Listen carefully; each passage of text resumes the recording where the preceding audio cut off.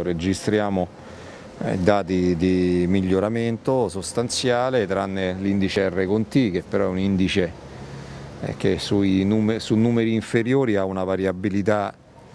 che ho già descritto in altre occasioni, comunque oggi siamo a 0,92 nella media nazionale,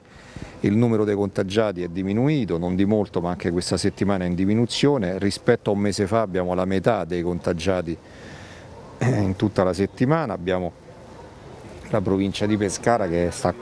potremmo definire quasi in zona bianca, fa 66 di incidenza, Teramo, l'Aquila stanno intorno a 100-110, eh, la provincia dell'Aquila che è quella che desta più preoccupazioni comunque ha un'incidenza in discesa, è poco superiore a 200, era, eh, era più ampia, era più alta nella scorsa settimana, quindi vuol dire che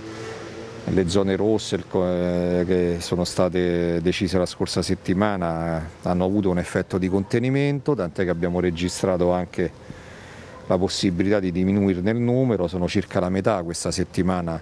i comuni che resteranno in zona rossa, compreso i principali Avezzano e Magliano, eh, però c'è comunque appunto, un, eh, un primo segnale importante anche di contenimento nella provincia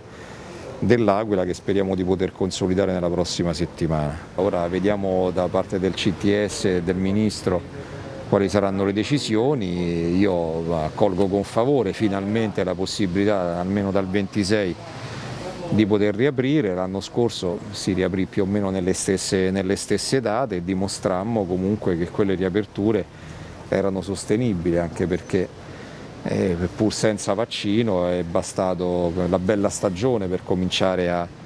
ad abbattere la circolazione del virus e la sua contagiosità. Quest'anno con il vaccino è chiaro che nelle prossime settimane la percentuale di persone vaccinate ovviamente continuerà